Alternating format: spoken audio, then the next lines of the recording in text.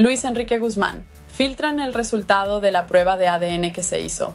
¿Apolo es o no su hijo? Este viernes 13 de septiembre, Luis Enrique Guzmán, hijo de Silvia Pinal, se convirtió en tendencia en redes sociales después de que distintos medios de la farándula filtraran el resultado de la prueba de ADN que se hizo junto a Apolo, el hijo que supuestamente procreó con su expareja sentimental, Mayela Laguna. Hace unos meses, Luis Enrique Guzmán compartió un comunicado anunciando su separación de Mayela Laguna. Además, reveló que Apolo, el pequeño que tuvieron durante el tiempo de su relación, no era suyo. Ante esta situación, Mayela lo invitó a realizarse una prueba de ADN para demostrar su paternidad.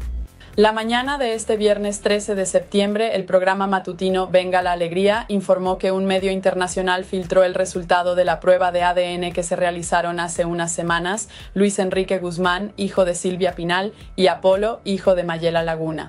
En este sentido, el matutino de TV Azteca retomó la información compartida por el programa Chisme No Like, quienes aseguraron que Apolo no es hijo de Luis Enrique Guzmán, lo que significa que el resultado de la prueba de ADN resultó negativo. Luis Enrique no es el papá biológico, dijeron en la nota.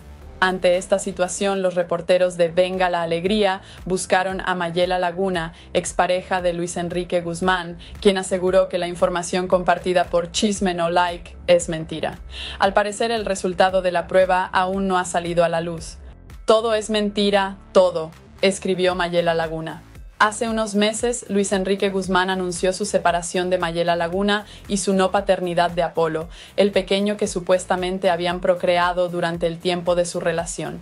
Ante esta situación, Mayela Laguna se ha mantenido firme en su postura de que Apolo es nieto de Silvia Pinal.